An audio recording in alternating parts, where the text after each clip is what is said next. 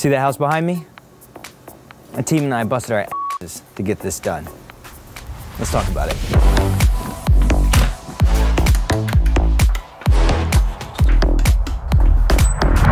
Big house, mini lights. That's better.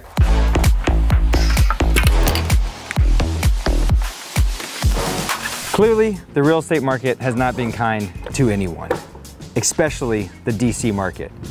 And that's where we're at today 921 Euclid Street, Northwest, Washington, DC. For those that don't know me, I'm Hans Pedersen. I do real estate development. Today, I want to share a few things that we did to make sure we got this deal done and sold in the current market. Any type of real estate development is hard. However, if you have a great team that can execute, it makes every project that much smoother.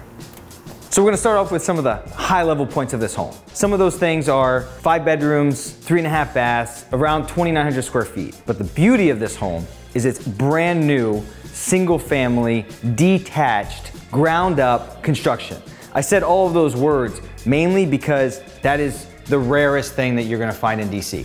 So before these homes were built, vacant lot, raw land. I mean, there was six parking spaces or something like that. So everything from the foundation to the roof, everything in between, brand new. One garage, two garages. You just don't see that in DC ever. So now that the big picture kind of stuff is out of the way, let's talk about some of the details and why this home is rare. So this is the first floor kitchenette. It Has everything the upstairs kitchen has with the exception of a cooktop, but you can plug one of those inductions in and have everything the kitchen upstairs has. The really cool thing about this are the shelves. And the reason why they're so cool is because these shelves were actually reclaimed out of a DC row house. These are the floor joists. Like you can see all the nail holes. So these were probably early 1900s, maybe late 1800s. And all we really did with them is we sanded them down, cleaned them up, and then we put a couple coats of poly on it, and that's it, and hung the shelves. But reclaimed features makes the home beautiful.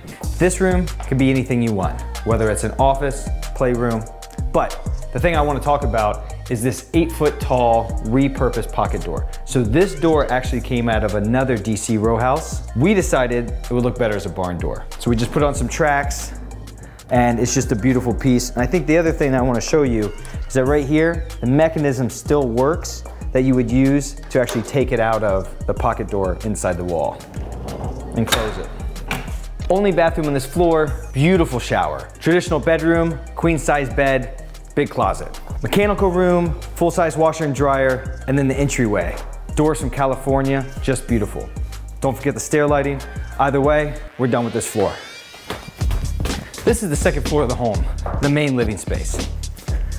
Our goal in the design of this home was to make this home feel as if it was a building built over 100 years ago. Maybe an old carriage house, factory, something like that. We wanted that DC feel, but with brand new ground up construction. So we did two things. We focused on the inside and we focused on the outside.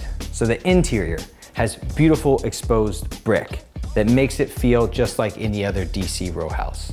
Has 20 foot long oak beams on the ceiling.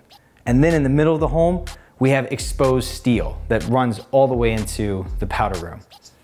All of these elements make people feel in question how long have they been here? And that was our goal.